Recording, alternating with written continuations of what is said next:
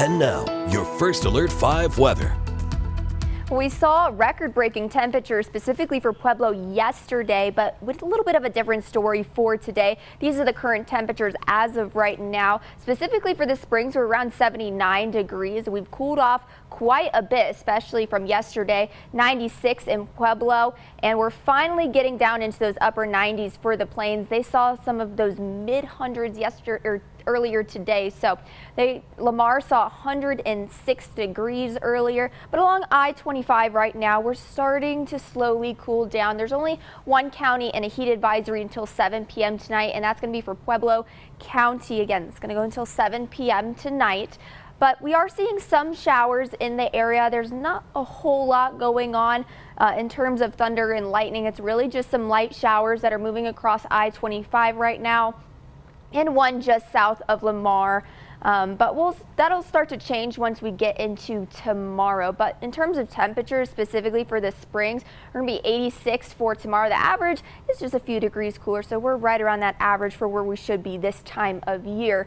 Um, we should be getting around 86 degrees for that high.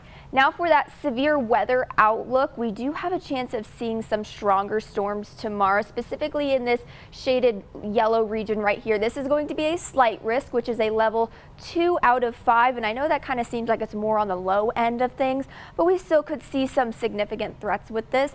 Specifically, hail and wind seem to be the main threat with some of these storms. They could be a little bit more isolated, but we also can't rule out a brief tornado or two. Now, this is the storm impact scale. I have it at three right now, so if you have any outdoor plans, you might want to change them. Uh, again, some of the threats that we could see up to golf ball size hail and 60 mile an hour winds possible. Doesn't mean we're for sure going to see that. That's just what some of these storms could end up producing. So we could see some scattered storms and some severe storms tomorrow.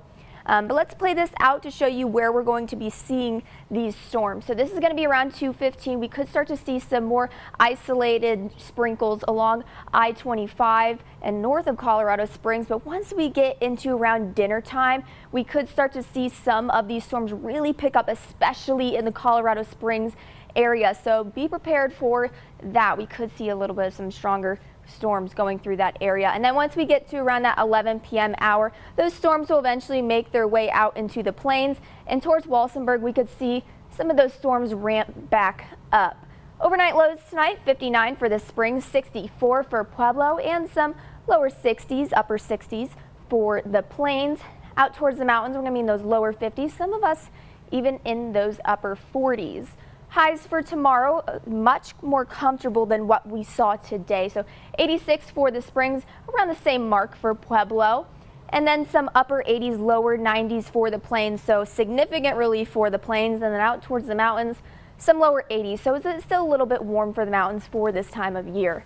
Colorado Springs, your seven day forecast is going to look like this 86 for tomorrow. I have that storm impact scale at a three. So remember, make alternate plans and we could see up to 60 mile an hour wind gusts, maybe some golf ball sized hail mixed in there.